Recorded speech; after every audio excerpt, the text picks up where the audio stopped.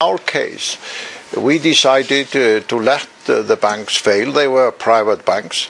And as I've sometimes said, I have never understood why somehow banks are the holy churches of the modern economy, whereas it is normal to let uh, other companies uh, go bankrupt and fail.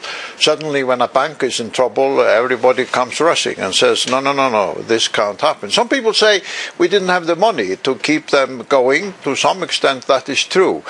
But it was also a part of a comprehensive policy where, on many other issues, we went against the orthodox financial view prevailing in the United States and Europe. And now, four years later or so, Iceland is recovering in a remarkable way. We have 3% economic growth, we have 5% unemployment, the state finances are in a reasonable shape. So, by going against the uh, established orthodox uh, views uh, prevailing in the US and Europe, we actually managed to uh, create a recovery which is quite remarkable. So you didn't look at the banks as these golden children that no. needed to be protected no. and coddled and saved. No, no, absolutely not. These were private companies operating fundamentally like private companies, rewarding the bankers and the shareholders. So why, when they fail, should ordinary people, taxpayers, teachers, nurses, workers, uh, pay the pay the price uh, and bear the burden? You also did something a little unconventional, and that was right away, at least in the first year, you didn't resort to austerity. You upped social spending in certain programs, but then eventually you implemented some, as I understand it, 100 different taxes. How did that not slow down the growth that you had finally gotten?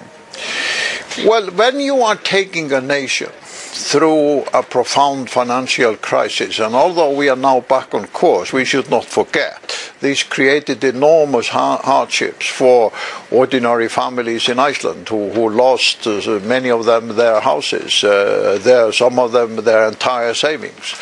So if you're going to bring a nation uh, through a profound crisis like this uh, back on the road to recovery, you have to enable them to see justice done.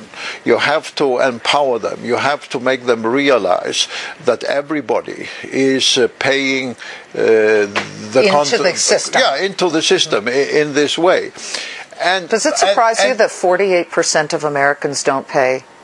At least the, the important chunk of taxes? Well, yes, it, to some extent it does, because I believe we have to realize that if a democracy is going to deal with a profound financial crisis like this, you have to instigate the political process in such a way that people are willing to bear the burden and and face the sacrifices if they see justice done in a democratic way. So what we did was not only to go against the traditional view of uh, the fiscal policies, the taxing policies, and the welfare state.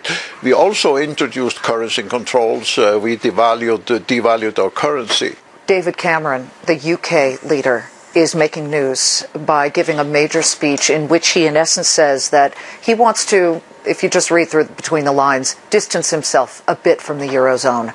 Uh, you have suspended talks about becoming a member of the Eurozone, yet one of the social democratic ministers in your country, uh, Katrin Juliusdottir, is saying we have to be a part of the Eurozone. It will be dynamic for our economy. Will you ever be a part of the Eurozone as long as you're president? Well, I don't think it's related to my presidency or not, but it's absolutely clear that the, whereas the Eurozone looked appealing for about a year after our bank's collapse, it's a completely different picture today. Olafur Grimsson, President of Iceland, we appreciate you being on well, Fox thank you Business. It's very great to be with you. It's thank you.